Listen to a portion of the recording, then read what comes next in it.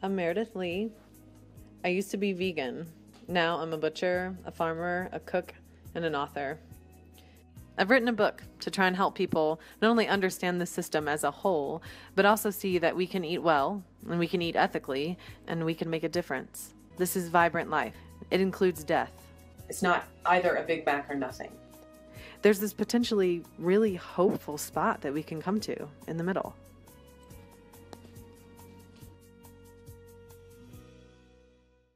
All right, everybody, welcome back to another episode of the Two Guys and a Cooler Show. We're taking a break from the kitchen and we are talking to uh, really a mom, a teacher, a chef, a butcher, a published author, a farmer. Can I continue? A salumist, a zymologist, Meredith Leigh. How are you today? I'm doing great. Thanks for having Would me. Would you consider yourself a zymologist? I don't know what that word means. I must confess. It a zymologist is the study of fermented foods and the bacterial Oh. processes. Oh, definitely. That definitely describes me. Absolutely. Wow. Thanks for teaching me that. I'll have to add it to my resume. Zymologist. All right. So welcome back to the country. You've been in Denmark here for uh, a couple days here last week, if I recall, right? Yeah, five days. Last week I was in Copenhagen for the MAD Symposium. It's amazing. I mean, for folks who don't know what the MAD Symposium is, it's kind of somebody recently described it in Forbes magazine as like the G20 of the food world. So it's like the it's like a summit of uh, I think it was about 600 people from 60 countries, and we're talking like Michelin star chefs and you know food hub activists and writers and I don't know all kinds of people who think about food more than most people do every day of their lives and they're all coming to these tents on this little harbor island near Copenhagen and just talking about the issues for a couple days. There's all there's a lot of inherent complexity in working in food scene. You know, like and and the YouTube channels and the books and whatever that we all do can kind of make it seem easier than it really is sometimes.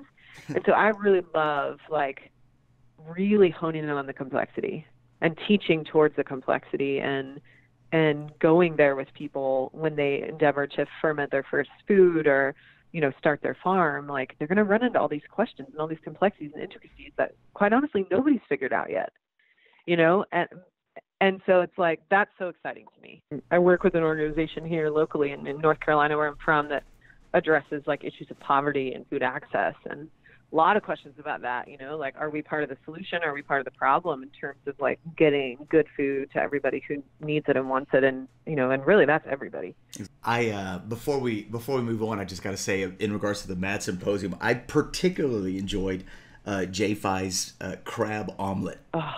Wasn't that cool? Did you watch it? Of live? course. Yeah, people should know that they can go and get some of the live talks, like check them out. Um, yeah, Jay was like she brought us so much joy, you know, and, and and she was the first session in the tent on the very first day, Yeah. and I mean everyone in that tent was smiling and laughing and on their feet, you know. So um, the other things to check out when they do come online is um, definitely check out the conversation between Kim Severson and Wade Davis, former NFL player, and Lisa Marie Donovan, who just recently won a, a James Beard Award for an article on the Me Too movement in the restaurant industry. They're talking about social equity in the restaurant world. It was really powerful. The other one is Lynda Obst, who is a is a movie producer in LA.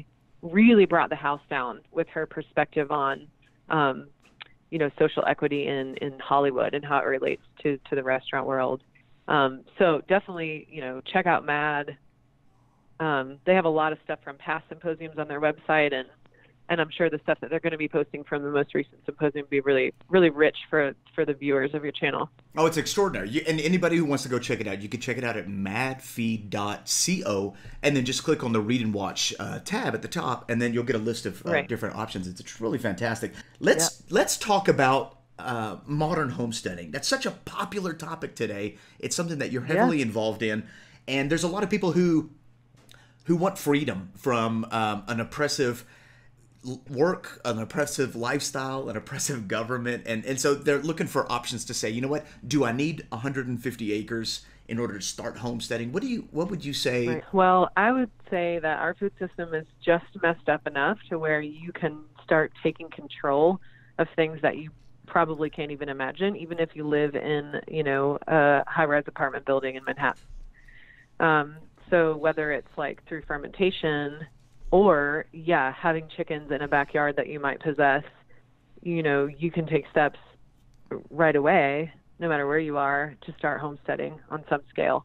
Because really, so much of our food is so outsourced and so out of our hands um, that really there's anything anybody can do to take that back. Your experience of food is going to be richer if you're eating food when it's vital.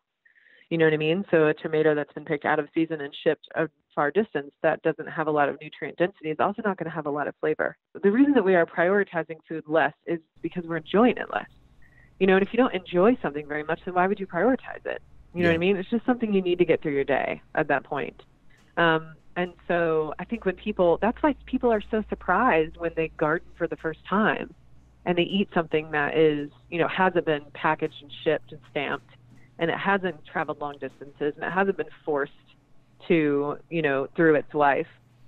Yeah. Um, and they, they can taste the difference and they feel drawn to it and they feel empowered by it.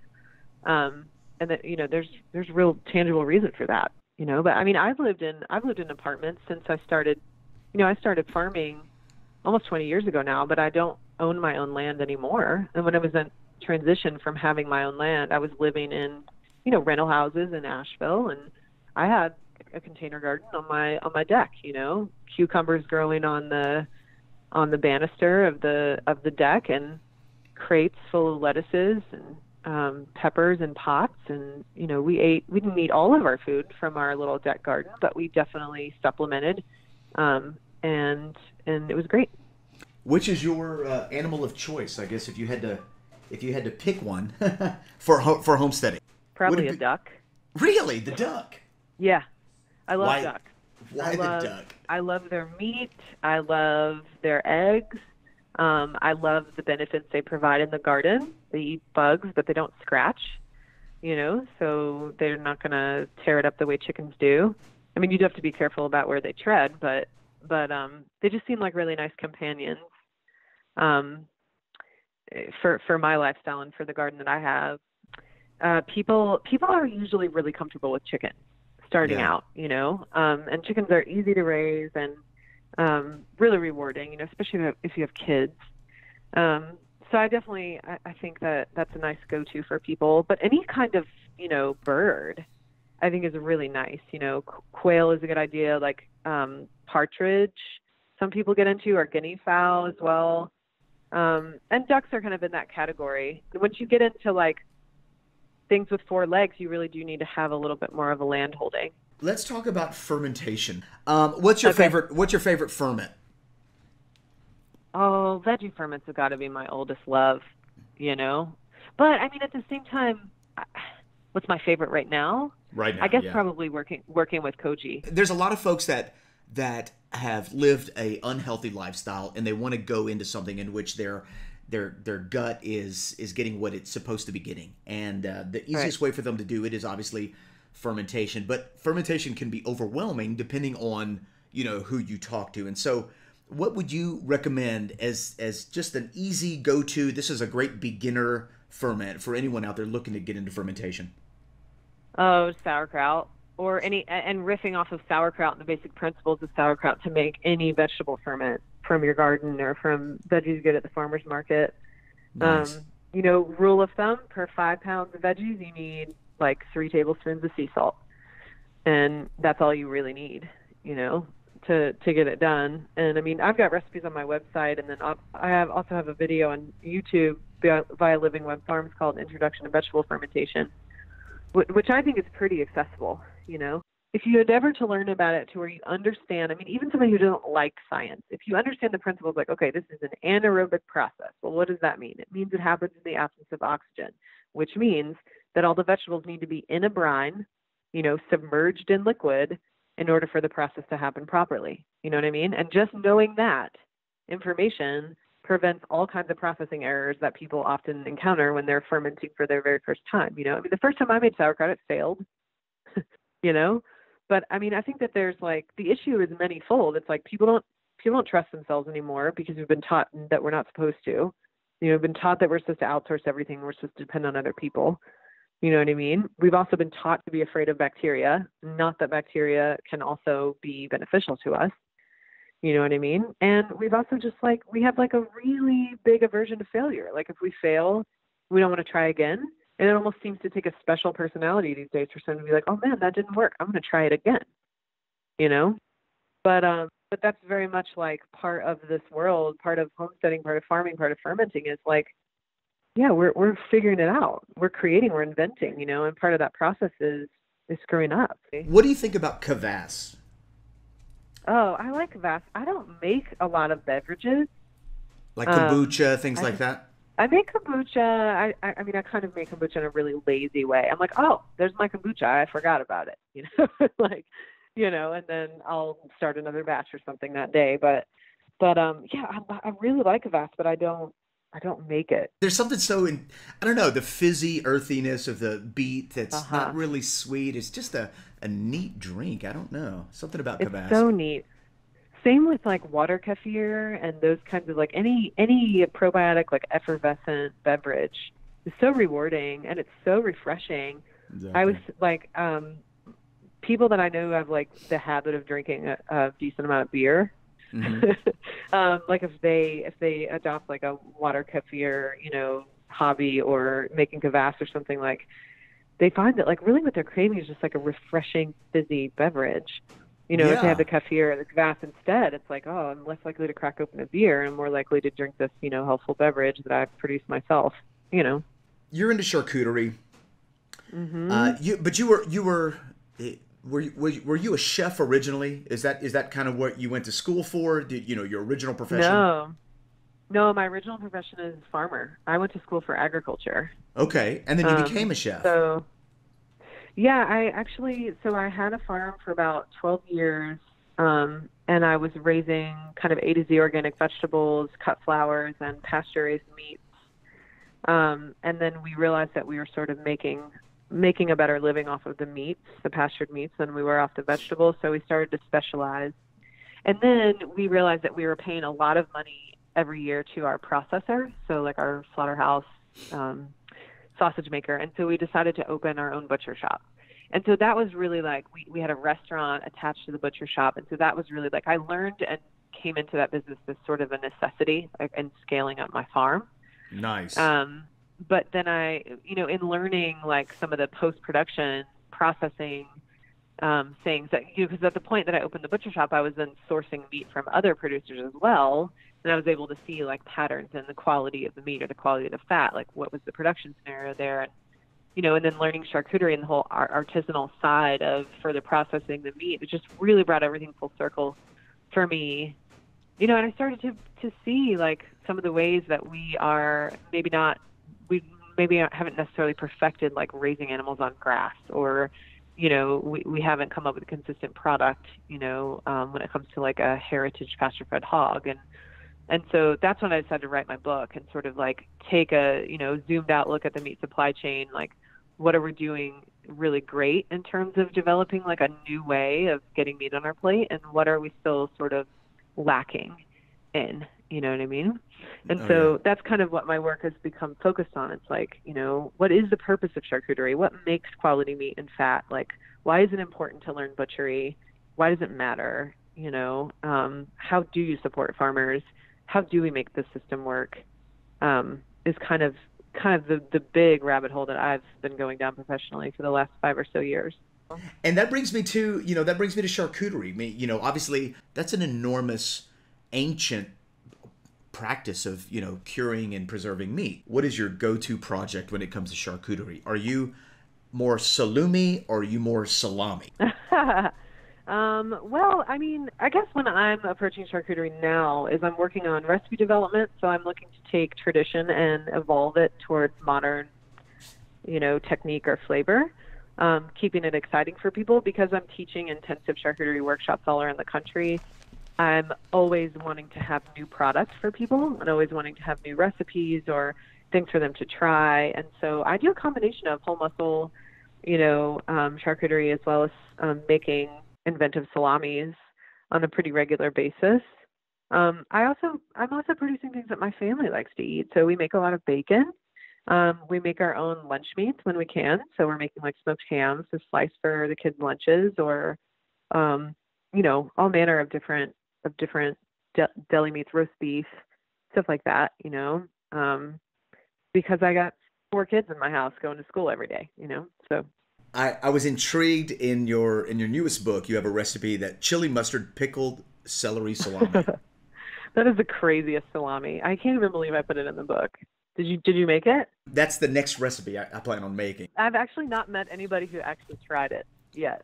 Well, there's a good chance I'm going to make it and, and put it on YouTube, and so you'll be able to see the process from my perspective. All right, so you, in order to make salami, in order to make you know any kind of uh, cured meats um, uh-huh. safely, you you need a chamber or you need the correct environment. Most people have to right. build some sort of a chamber. Uh, if I right. recall correctly, you use an old refrigerator, right? I do. Yep. And you, you just have one, or do you have like many refrigerators that you? I have I have two at home and one at work, so three total. Okay. Um, but really, I, I I mostly use the ones at home more because the closer an eye you keep on it, you know, the better the better it is. Are your kids um, into it? Do they go in there and check and smell and hey, you know, do they love that? No, not really. They're a little bit intrigued by it, but they're mostly freaked out. I mean, the farthest I've gotten them to come yet is like helping me mix and grind. Oh, sure. You know, and and stuff the sausages, and even then they're like, "Whoa, this is weird." I know the process of of charcuterie is. Uh, at least it was for me incredibly uh, overwhelming because you know going from making sausage to going from curing meat um, when mm-hmm. you're just looking at it from an outside perspective and you don't know a whole lot about it, yeah. you see, you seem to think, wow, there's not only is there a lot of science, but there's a lot of processes, there's a lot of equipment, and there's a lot of steps that go along mm-hmm. to it. Mm-hmm. Uh, but after doing it for a, for a little while now myself, I can personally say that it's actually not that complicated. Would you agree with that statement? Right. Oh, absolutely. I mean, one of the things that I'm doing with my classes and with my book is trying to open source it and trying to teach towards the patterns that develop in process in meat processing. So, say you have, um, say you want to make a, a sausage with uh, garlic and rosemary. All okay. right. So you, you can come to one of my classes and we can take that recipe. We'll we'll make that recipe together. I'll teach you the ratios to make that that garlic rosemary sausage. And then say you want to turn it into a pate. What do you need to do? You know, take the same ingredients, how do you turn it into a pate? Okay, now what do you want to turn it into a dry cured salami? What are you going to do differently? And so people can really see that it's just about affecting ratio. Same as if you wanted to change a pancake into a crepe. You know what I mean? Like it, it's just a different ratio of the ingredients in proportion to each other in order to create different textures or, you know, develop different platforms for, you know, the biological process of fermentation, for example. And the way charcuterie is traditionally taught is towards like, oh, well, here's what's done in Italy, and here's you know, blah blah blah, and so you can get really lost in all these daunting like traditional names and what's the equivalent in France to this thing that's in Italy, and I've got to read the recipe. If I don't read the recipe, I'll get it wrong, and then there's an ingredient in the recipe that you don't understand why it's there. You know what I mean? And so I'm kind of what I'm trying to do with my education and my books is like take all of that and amass as much as I can. I mean, there's, there's certainly charcuterie that I've never heard of before. You know, that's how vast of a world it is. But take all that process and tradition that I do know about and say, okay, here's how I can distill this a little bit and help you understand, like scientifically as well as practically, like why are you putting dry milk powder in your mortadella? What what mm-hmm. does it mean? You know, what is the difference between drying and fermenting? Um, and so I think, you know, the, the hope is that people will be able to come at it a little less afraid and a little less overwhelmed. You know, and we live in a world uh, today in which nitrites and nitrates aren't entirely understood. There's a lot of misinformation out there. And so people right. kind of hang on to the really, really, you know, bad things that they hear from sources, but they don't consider the entire process. And um, your perspective on cultures is to allow the natural cultures within the chamber that you're or the room that you're you're fermenting uh, to to grow within the meat. How does somebody know what they have? Well, they don't. So, using nitrates in meat, I always encourage people to use some form of nitrite, whether it's naturally derived from a celery product or whether it's synthetically derived from cures one and two. You've got to use it in products. You know, as far as what we know now, you should use it in products that are either never going to be cooked or they're going to be cold smoked. Sure. Um, because just be, because of the dangers of botulism. That being said, there is research out there showing that the synergistic processes of fermentation and curing that are happening because of microorganisms in the meat anyway might set the stage to where botulism can't thrive. You know nice. what I mean? And so again, like there are things that our science can't measure. So that's one thing that I put out there to my students. That being said, it takes a half microgram of botulism to kill you. When it comes to you know beneficial starter cultures, um, I am not super interested in creating or teaching systems that require us to depend on big pharmaceutical companies or other providers in order to make the charcuterie that we want to make. Sure. If we know the science behind fermentation, we know that the fermentative bacteria are ubiquitous in our environment. We're talking about the same genera of bacteria that are in your jar of sauerkraut, lactobacillus, pediococcus. Those those critters are everywhere. You know what I mean? Yeah. So the, the the situation is if you provide the proper environment for them to thrive, and you do all the right things you need to do to exclude the bad guys, you're going to get them in there, and you're going to get fermentation happening just fine. You know, you may find in the process of you know trying to pursue pure charcuterie, which is what I call it, you know that you you have setbacks. For example, recently I cleaned the inside of my cabinet because I had cured something with a bunch of black pepper on it and had black pepper all over the place. And so I wiped it out. And I found that on my next go, fermentation was happening so much slower. Of course. Right? So anytime you go in and you wipe things down, you're resetting, you know, the life, the life in there. And it's it's pretty fascinating. You know, but but I guess I guess to sum it up, like I don't discourage people from using bot starter cultures in order to ensure that they have the right, you know, bacteria inside their sausages, especially if they're just starting out.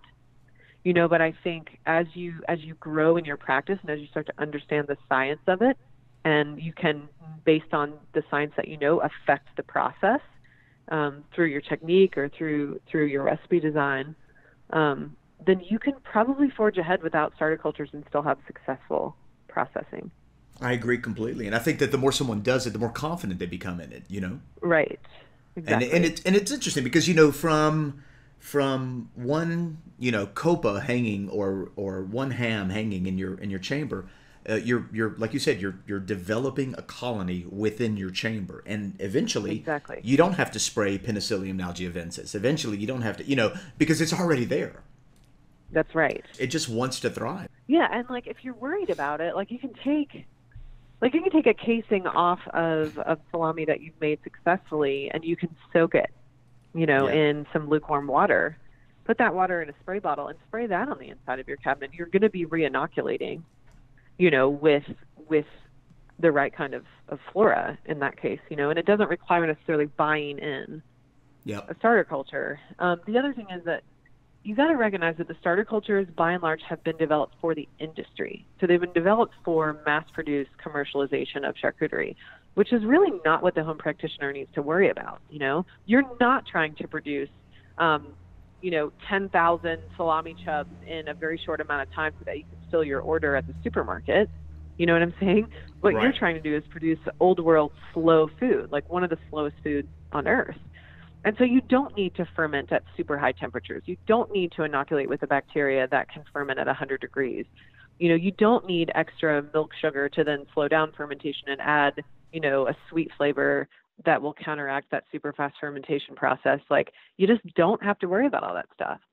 And so and so it's it's not important to buy it and it's also not important either to use the entire package of $15 freeze dried bacteria you know, per recipe, as some practitioners have recommended, because what we're doing is inoculating. You really need like a half a teaspoon. And then you can keep that starter culture in the freezer indefinitely. I know that the uh, the and the end result is extraordinary. The end result is a product that just doesn't even compare to store bought uh, products. It just doesn't even compare. No, it doesn't. I mean, there's there's biological processes going on in a slowly cured like old world product that are never even touched in a mass produced scenario because some of these cultures and some of these these these organisms only do their work at very low pHs and in very very you know lengthy amounts of time. Yeah. And so you'll never get the flavor you know that you want or that you think you know, or associate with old world charcuterie from a product that's designed, you know, to meet, you know, mass demand. So somebody builds a chamber. Somebody says, you know what, I'm going to give it a shot. And uh, and building a chamber is actually really, you know, at first I thought, wow, this is going to be crazy. It's actually incredibly easy. It just so easy. What is it? Control the temperature, control the humidity, and that's it. that's yeah, really you need an it. insulated box. You need an insulated box where you can affect the temperature and humidity. And people use coolers. Yep. For this, you know, people even use styrofoam coolers that you bought from, you know, the supermarket. So somebody builds a chamber, but they say, you know what, I'm this is only going to be for charcuterie. What if I? What if one day, you know, I, I couldn't imagine this, but what if they say I get bored with charcuterie?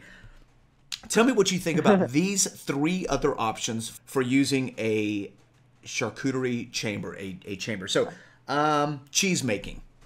Yes, definitely. Do you make cheese? I don't um, on the level that I would like to, but that's a that's on on the bucket list to to be making aged cheeses. And so it's you could use the same because it's the exact same process. It's just a different temperature, different humidity, different bacteria, but uh, different bacteria. Cheese. Yeah, but a lot of the same principles for sure. Same principles. Um, aging beef. Yes, you could. You could use your if you didn't want to be using it for charcuterie, you could be using your your fridge for aging beef. So drop sure. the drop the temp, raise the humidity, increase the airflow. Yep. You now have yep. you know really great thirty day age. You got a funky you know it's a process of, of, of bacteria also breaks it down. Um, mm-hmm. This is another one because you know I I'm a huge fan of, of mushrooms. I just love mushrooms. Cultivating mushrooms in your dry yeah, in your totally. chamber. That's a great idea. Have uh, Have you gone down that road of mycology? Have you Have you touched I've, it yet? Yeah, I've grown some mushrooms. I've done some of the easy ones like oysters and shiitake. Um, it's very rewarding, um, and I'm friends with a lot of mushroom geeks who have way more knowledge than I do, and I, I think that they are like some of the most intelligent and um, adventurous people that I know. Um, and there's so much power that that fungus has to what remediate soils, uh, remediate waste in our environment, and um, I don't know. They're just mushrooms are just fascinating, powerful organisms. The very first time, uh, this was probably five or six years ago, when I thought, you know what, I know how to, I know how to plant a tomato, and I could definitely plant lettuce and, and harvest lettuce. Mushrooms should uh-huh. be no problem. wow, what an extraordinary! I was wrong, by the way. It's a yeah, it's pretty involved. It's not quite the same, but incredibly rewarding. It is the it is the neatest thing to watch the mycelium do what it does and fruit and just spore and it's probably one of the coolest fields in my opinion that uh, yes. that comes to uh, that that I think everybody should at least consider as a as a as a project when they're doing homesteading. I think it's fascinating. Sure. Yeah. Absolutely. So there's there's four options. You can make salami, you can grow mushrooms, you can make cheese, you can definitely dry age beef in a chamber. So if those of you who are concerned about, you know, this is going to be only for charcuterie, you got options. So that's kind of cool. Yeah, there you go. Have you ever dry aged beef yourself? I have. Um, I did it when in my in my shop when I had had a shop and um, had good success. It's fine. I, you know, for home practitioners, I definitely there's a there was a lot of hype about dry aging individual steaks. Right. For a while, which I definitely don't recommend. I think if you're going to be dry aging, you need to be using subprimals. Um, and then, I mean, there's not a whole lot of scientific research about like how you know how much adjusting the temperature is going to affect the aging process. But just in general, being like above freezing and below 40 degrees right. Fahrenheit and then having like a higher you know humidity than in in your typical refrigerator is is the process. Um, and then based on you know what you're trying to do or the size of the cut you know you're going to go what 7 to 21 30 days exactly. before you just start getting like wastage you know and there's no need to age any further. Okay so let's let's talk though about aging individual cuts because I'm I'm I'm willing to bet you've probably done it, but you haven't done it the dry aging way. You've done it with something called Aspergillus oryzae. Is that true? Right. Mm-hmm. Yes, absolutely. The first time I ever heard about koji was from the owner and founder of uh, Momofuku. You know who I'm oh, talking about? Cool. Yeah. Yeah. Uh-huh. David, and um, and it just, it just sort of just passed over the head. It wasn't a big deal, but he talked about experimenting it with different you know grains and so on and forth.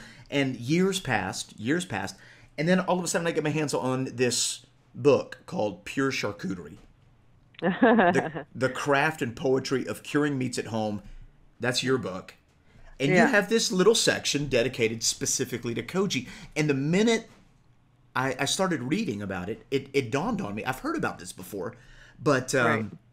But it wasn't presented in such a way in which it made me think I need to get down on this. But but Yeah, totally. you not only talked about koji, you talked about propagating it, you talked about harvesting it, you talked about how, what what you could use it for, and then how to implement it in a particular field I'm interested in, which is charcuterie. we should just do a little background. Koji's a it's a mold. It's a white mold that grows on the surface of anything you put it on. Most normally that's grains because it's a starch modifying mold. So it likes to break down starch and it's traditionally grown on rice or red beans or barley and it is indigenous to China um, and then has been used widely in Japan for centuries to produce miso and soy sauce and you know all kinds of other fermented foods that you may be familiar with, but you don't realize that they depend on a mold for Yeah. their production. Um, and then more recently, koji has been adapted and used in all kinds of cooking um, in order because it has powerful enzymatic capabilities. So what happens is when it's cultured on the surface of a food, or it could be a carrot, it could be a pork chop, anything, um, then it starts to release amylase and protease, which are two very powerful enzymes for breaking down both sugars and proteins. And so, even if you've cultured the koji on a food product in a special environment that koji likes, you can take it out of that environment and the enzymes will continue to do their work. And so, what they're doing is they're breaking big molecules down into smaller molecules to make way for regular fermentative processes to happen. The other thing they're doing is tenderizing and flavoring in and of themselves the food product with their own koji magic. So, uh, pork chop or a, or even a more traditionally tough cut of meat can be cultured with koji, and you'll experience uh, greater tenderness and definitely that funky, dry, agey flavor that you might associate with with dry aged beef, but it's actually coming from the surface mold that we call koji. Wow. So we've we've seen the spike of people wanting to use koji on steaks for that prop Yeah. for that specific process. Is that is there Right. a is there a kind of a, a, a you know hard fast method on this is how it's done or it's it's pretty loose? Um, well, I mean, it's just what you're going to need to do if you want to use it on meat or on anything is that you have to set up an environment for it. Same as if you're making sauerkraut or making charcuterie. Um, koji is an aerobic surface mold, so it has to have oxygen. Um, and it thrives in pretty high temperatures. So we're talking like 80 to 86 or 7 degrees Fahrenheit and high humidity.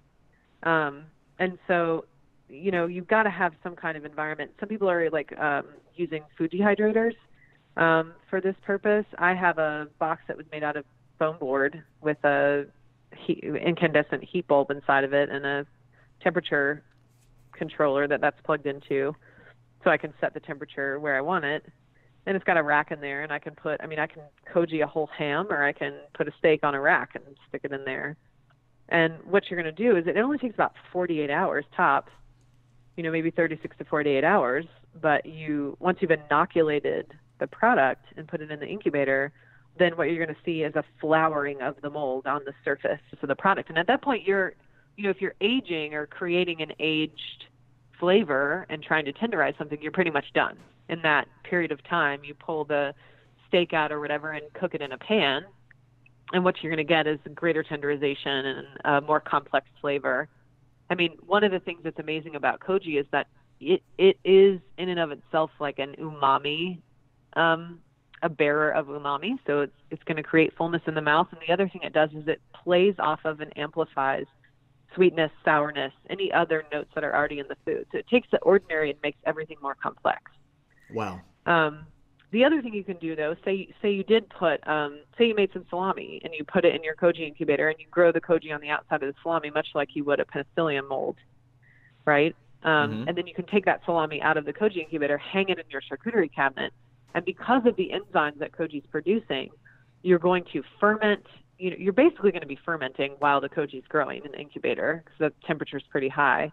And then once you take it out and put it in your cabinet, you're getting quicker drying because of the powerful enzymes. Um, and so you can cure meat in sometimes a, a, half to a third of the amount of time that you would using normal processes with the help of koji. Wow. Um, so it has a lot of really amazing applications. A lot of times people buy koji rice in order to produce some of the secondary ferments that you can make with koji, like shio or amazake. There, there's a whole world of things that you can do with koji. And once you've got, I mean, once you've cultured koji on a grain like rice or barley or, or a bean or something, you can then take that koji rice or the koji rice that you've bought and then add it to more rice and and incubate that and you'll get like a salty probiotic rice porridge basically that we call shio. And if you ferment it at a different temperature you'll get like a more sweet rice porridge and then those things can go into like you can use them as bread starters you can use them as marinades and brines you can make pickles with them and wow. um, again like those those secondary ferments are going to be very enzymatically active and so they're going to tenderize the flavor and and you know take take your food. Even if you make a stir fry and you drizzle a little bit of shio koji over it at the end you're going to get flavors that pop more and you're going to get you know you're just going to get more complexity so you basically um, have like a salt then, substitute kind of yeah or a sure. sugar uh, substitute depending on what you depending on which one you end up with yeah and there's people using it in that way my dad has cardiomyopathy um, so he eats he can't eat salt um, like he used to. And so one of my projects is I'm developing a like a very low salt bacon for him so that he can enjoy bacon again. And I'm and the way I'm doing it is I'm working with different salt contents and then also koji in order to produce because koji has an electromagnetic magnetic charge just like salt does. So it can draw water out of meat the way we endeavor to when we're trying to preserve it. And that's like a whole nother level of charcuterie instruction we don't have time for. But like the hmm. implications of that are really huge because it means that people who are on low salt diets and even low sugar diets, like that, that the amount of salt that we require to cure meats is maybe can be reduced if we're if we're working with koji because koji also has the ability to alter the water activity in the meat product.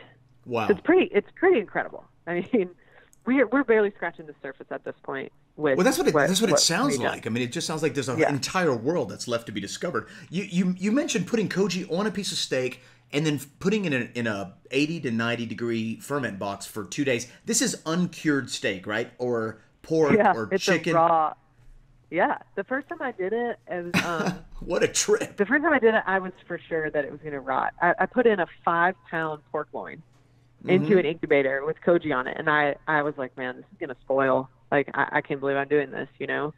And then I walked away from it, you know, checked on it every once in a while. When I finally was ready to open the lid and like really pull it out of there, I was kind of scared, you know. But I opened the lid and it smelled like a wildflower meadow.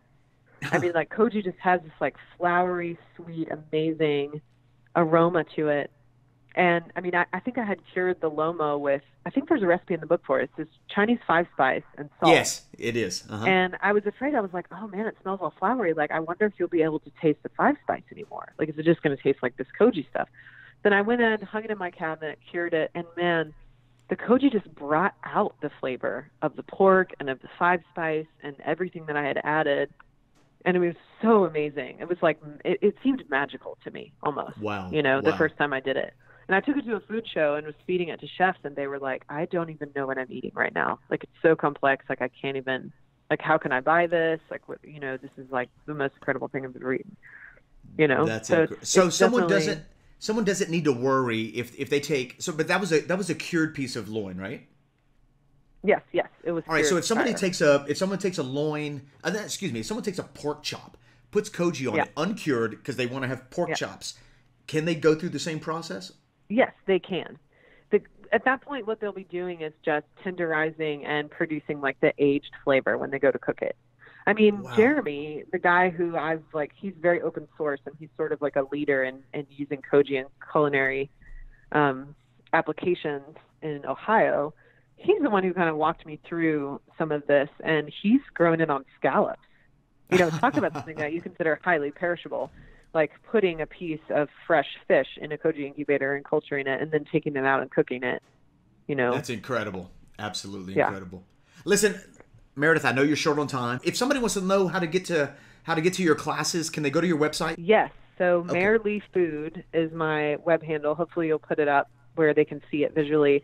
But I'm doing two day intensive immersions into charcuterie all over the country. I'm also booking for next year. So if people are interested in having me in their home kitchen or in their commercial kitchen or whatever, teaching um, this stuff, um, please, you know, drop me a line um, and and check out my books because they're they're definitely a way for people to just like hit the ground running with with some of these principles from homesteading all the way to making salamis. Absolutely. The Ethical Meat Handbook and Pure Charcuterie, the craft and poetry curing meats at home. And they cover a ton of information. And so I want to thank you for your time, Meredith. Thank you so much. It's been great talking to you. Hey, have fun with Koji. I am. And I'll have to drop you a line, let you know how it goes. Sounds good. I can't wait to hear. Thanks a lot, Meredith. Have a good day. You too. Bye bye.